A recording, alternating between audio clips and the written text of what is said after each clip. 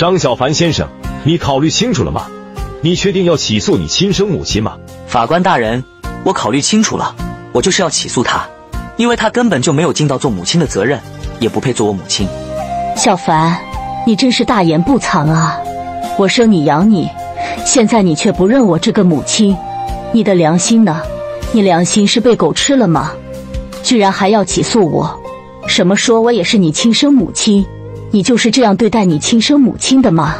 张小凡先生，你为什么要起诉你的亲生母亲？请给出合理的解释。法官大人，一个星期前他来到我家找我，一见面就说搬来我家住，让我给他养老。更可气的是，让我把每个月的工资都交给他保管。我听到后没有理会他，让他赶紧走。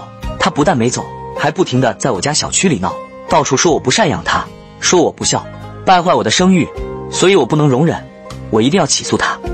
小凡啊，我现在老了，没人照顾我，你是我儿子，你不养我谁养我啊？你不知道吗？赡养自己的母亲是每个儿女应尽的责任啊！我知道啊，但是你根本不配做我母亲，你也没资格让我赡养你，因为你的心真的太黑太狠毒了。儿子，你什么能这样说我？你有没有把我当长辈看待？难道你不养自己的母亲？你的心就不狠毒了吗？肃静，这里是法庭，请保持安静。张小凡先生，我国宪法第四十九条，成年子女有赡养扶助父母的义务，赡养自己的父母确实是每个人应尽的义务，这也是你的责任。小凡，你听到了吗？赡养父母是每个人应尽的义务，这是你应该尽的责任。这下你没话说了吧？所以我让你给我养老，每个月把工资拿给我当生活费。都是你应该做的，真不要脸，还指望我给你养老，想得美！更别想拿我工资给你做生活费。法官大人，请你听完我的证词，我一定要起诉他。在我刚出生的时候，医院检查发现我有先天心脏病，他怕我后期治病花太多钱，就把我抛弃了。那时候是冬天，他把我放在外面就走了，天空中还下着鹅毛大雪。要不是隔壁村的黄阿姨出来干活时看见了我，也就是我现在的养母，要是没人发现我。我就要被活生生给冻死了。我养母把我抱回家之后，到处向别人打听，才知道是他把我丢在冰天雪地里。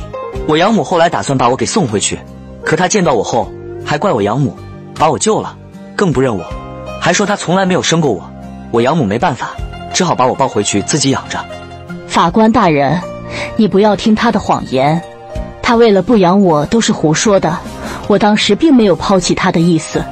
只是发现他有先天心脏病之后，想着去外地打工赚钱给他看病，带着他又不能出去打工，无奈之下，我才让隔壁村的黄杰帮我带他一段时间。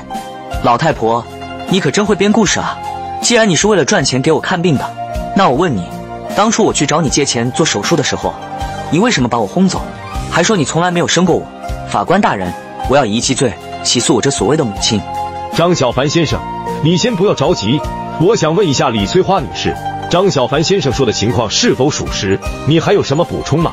法官大人，我没有想要抛弃他的，我真的要去外地打工赚钱给他治病的。再说了，我当时给过他两千块钱呢。小凡，难道你养母没有告诉你吗？看来他是把这个钱收到自己口袋里了。我呸，这钱根本就不是你给的。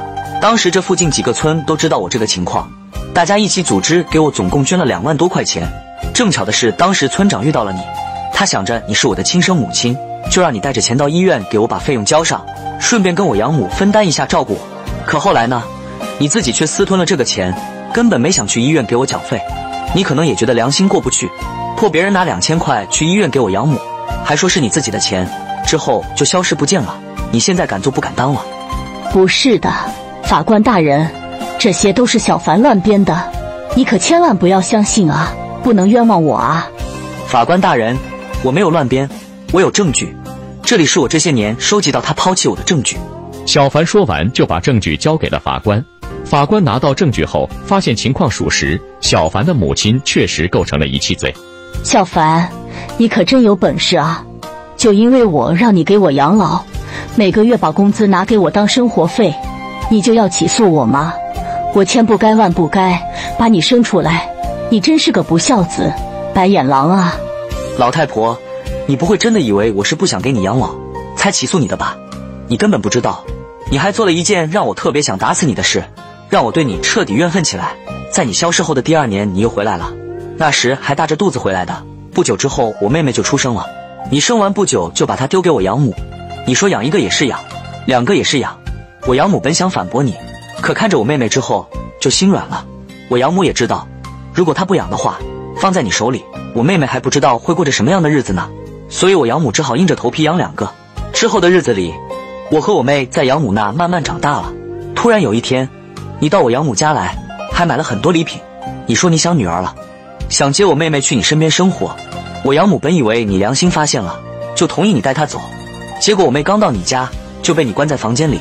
我妹觉得不对劲，你肯定不安什么好心，想要回养母家，结果门怎么也打不开。之后，我妹就听到你和另一个女人在外面说话。你们要把我妹妹给嫁了，彩礼你也谈好了，可当时我妹妹才十五岁啊！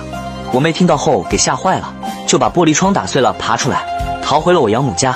我妹妹回来后，把所有的事都告诉了养母。养母听到后十分生气，就去找你理论，还和你吵了起来。原来是隔壁村的老光棍五十了都娶不上媳妇，他知道了我们家的情况，就托人去你家说媒。之后你见钱眼开，就以五万块的彩礼作为交换，便同意了这门婚事。我养母极力阻拦，说我妹妹是她养大的，你没资格和权利这样做。可是你被猪油蒙了心，满脑子是那五万块钱，把我养母骂了一顿，还说我妹是你生的，你想怎么做就怎么做，轮不到别人来管。之后还把隔壁村的老光棍叫来，强行带走了我妹。我和养母去阻拦，还被你们给打了。我们就眼睁睁看着你们把我妹带走了。再后来，就听到了我妹难产大出血去世的消息，我和养母整整哭了两天。李翠花女士，张小凡先生所说的事情，你可认罪？法官大人，没有啊，我没有这样做，这都是小凡乱说的。他为了不认我这个母亲，都是胡说的。老太婆，到这个时候了，你还要狡辩？你心肠真狠毒，心真黑啊！如果你还不受到惩罚，那我真的对不起去世的妹妹。你做的那些事，你以为别人都不知道吗？你根本就不能称之为人，你就是个恶魔。法官大人。这里有我刚才所说的证据。随后，小凡又递交了所有证据。因为证据充足，小凡母亲被判无期并罚，她终于是受到了应有的惩罚。你们支持小凡的做法吗？